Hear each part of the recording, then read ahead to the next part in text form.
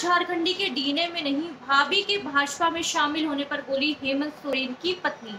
कल्पना सोरेन ने बताया कि हेमंत ने राजनीति को नहीं, बल्कि राजनीति ने हेमंत को अपनाया है। उन्होंने कहा कि हेमंत राजनीति में शामिल नहीं होना चाहते थे, लेकिन दुर्गा दादा की मौत और बाबा के स्वास्थ्य को देखते हुए उन्हें राजनीति में आना पड़ा।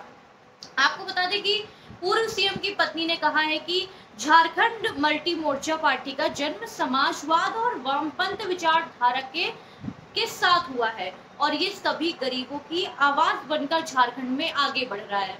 उन्होंने आगे कहा कि हेमंत जी जेल गए हैं, उसी ताकत से लड़ रहे हैं, जिस ताकत से बाबा और स्वर्गीय दादा दाने पूंजीवादों और सामंतवादों के खिलाफ लड़ाई लड़ी वो झुके अभी भी नहीं है। वैसे भी झारखंड समाज में हमने कभी भी पीठ दिखाकर या समझौता करके आगे नहीं बढ़ा है।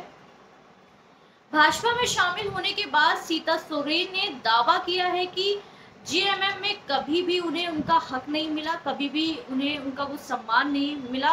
उन्होंने बताया कि पिछले चौदह वर्षों में उन्होंने जो, उन्हें जो सम्मान मिलना चाहिए था उन्हें नहीं मिला। इसीलिए उन्होंने इतना बड़ा कदम अभी उठाया है। ऐसी तमाम खबरों के लिए देखते रहिए न्यूज़ टेन इंडिया।